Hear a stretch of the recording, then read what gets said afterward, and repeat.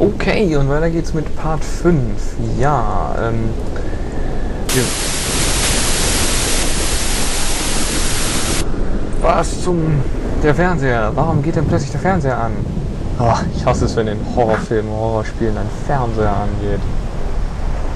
Äh. wir wollten uns das. Ja aus. Tagebuch der Frau Meyers angucken. Darlene, glaube ich, hieß sie. Ähm, ja. Und gucken, was passiert ist.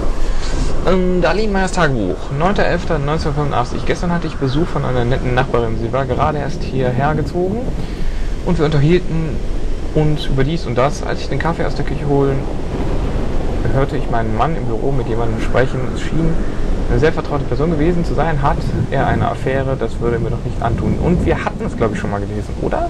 Tue ich mich jetzt?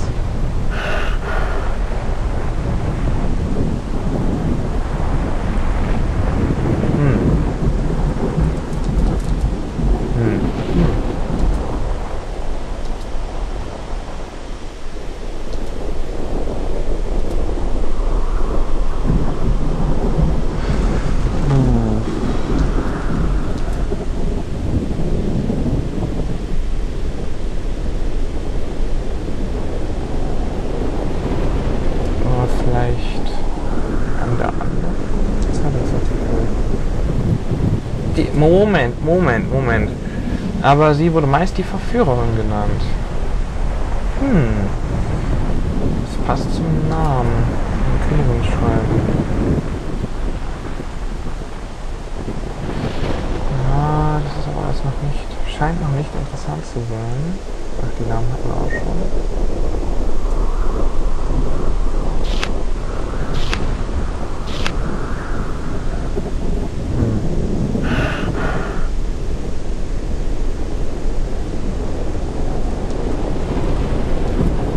Scheinen uninteressant. Speichern wir nochmal. ja. Hm. Gut. Wollen wir nicht rein? Nein, vielleicht. Ja, raus können wir ja nicht. Was die Schatulle? Vielleicht setzen wir uns mal, mal gucken. Hm. Ja. Vielleicht hat sich der Zettel geändert? Ne, ist auch noch derselbe.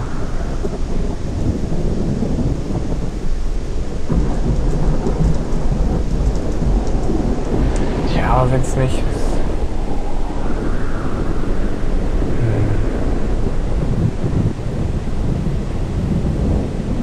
Hatten wir alle Dämonenbücher schon gelesen? Belial hatten wir. Das vierte hatten wir auch, ne? Ja. Sa, Sa, Baal. Ähm,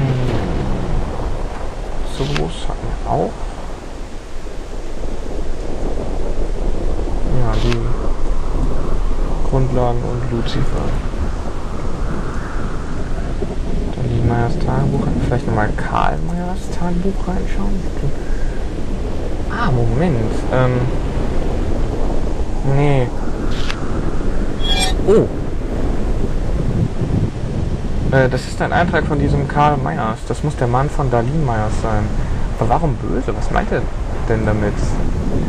Keine Möglichkeit zu beweisen, dass ich unschuldig war. Was soll das wieder bedeuten? Vielleicht, ähm, vielleicht hat das was mit dem fünften Opfer zu tun. Immerhin wurde das fünfte Opfer im gleichen Jahr gefunden, äh, wo dieser Tagebucheintrag geschrieben wurde. Außerdem scheint es der letzte Eintrag von Karl Meyers zu sein, nachdem er sich erhängt hat. Nachdem? Okay. Alles sehr seltsam. Ja, das stimmt. Naja, ich bin müde, ich werde mal ins Bett. Ist sowieso schon spät. Ja, äh, den Tagebucheintrag hatten wir ja schon gelesen. Das ist der Mensch, der keine, äh, keinen Regenerations-, Reinkarnationslisten mehr von sich hat. Von seinem früheren Leben. So. Ja, lieber nochmal speichern. Ja, ich weiß, ich speichere wirklich verdammt viele. Es tut mir auch leid, aber ich meine, mich erinnern zu können, dass ich einmal zu wenig gespeichert hatte beim letzten Mal. Und wieder vergeht die Zeit schnell. 21.09.1997. Klack. Oder liegt ein Zettel. Direkt neben dir. Was passiert hier nur? Wenn ich doch nur etwas mehr Geld hätte, dann würde ich diesen Wohnblock am liebsten verlassen. Und ich bekomme das Geld erst am Ende des Monats. Wie viel Pech kann man eigentlich noch haben?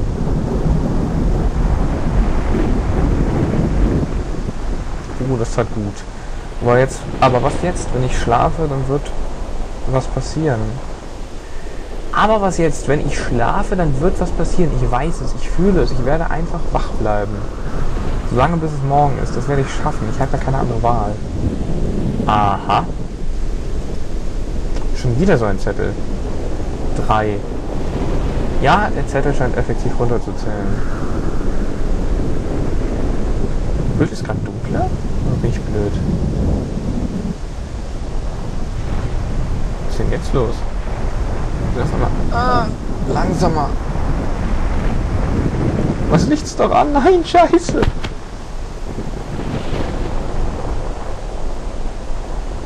Alles dreht sich. Verdammt, ich muss eingeschlafen sein.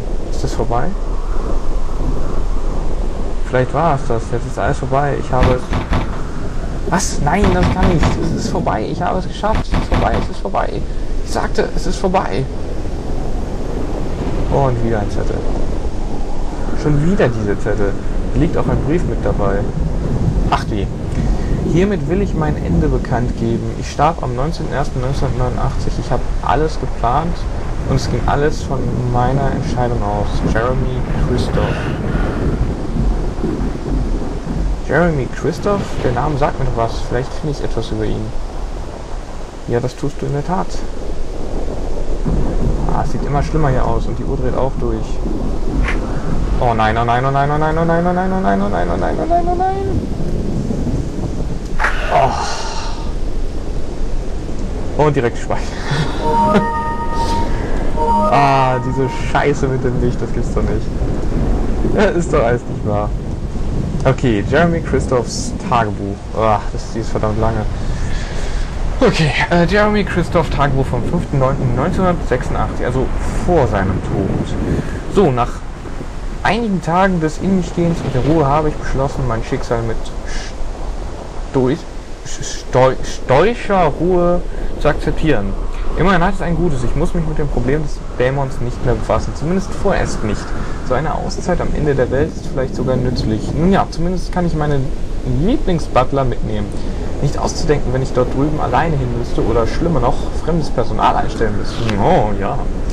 Meine Koffer habe ich bereits packen lassen und ein Transportunternehmen beauftragt, äh, sich um die Container mit den wichtigsten Sachen zu kümmern. Ich habe beschlossen, nur das Notwendigste mitzunehmen und eine Maklerin in Cleveland beauftragt, mir ein Haus, eine Innenarchitektur zu besorgen.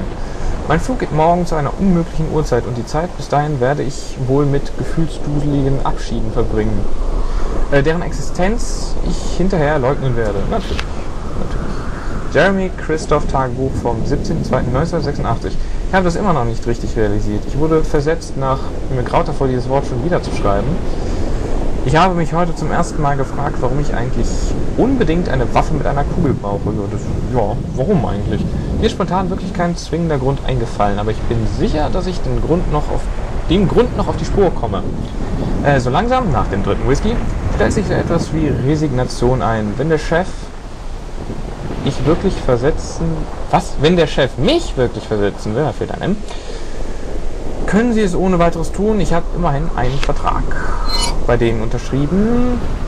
Aber die sollen nicht glauben, dass sie mich protestlos in die Hölle schicken können. Wenn schon, dann wird das für diese Schreibtischfanatiker die unangenehmste Versetzung, die sie je durchstehen mussten. Ich werde jedes Formular falsch ausfüllen, alle Budgets überziehen und mich über jede Kleinigkeit seitenweise beschweren. Die werden sich noch wünschen, dass sie mich in Schottland unter einem großen Stein verscharrt hätten. Oh, natürlich werde ich bei allen Beschwerden und privaten Briefen den Zeitunterschied vergessen. Alles klar. Ähm, ja, unser Held Malcolm hat was dazu gesagt. Das werde ich, das ähm, werde ich aber erst im nächsten Part. Damit werde ich mich erst im nächsten Part beschäftigen, wann unsere Zeit wieder um ist. Bis zum nächsten Mal.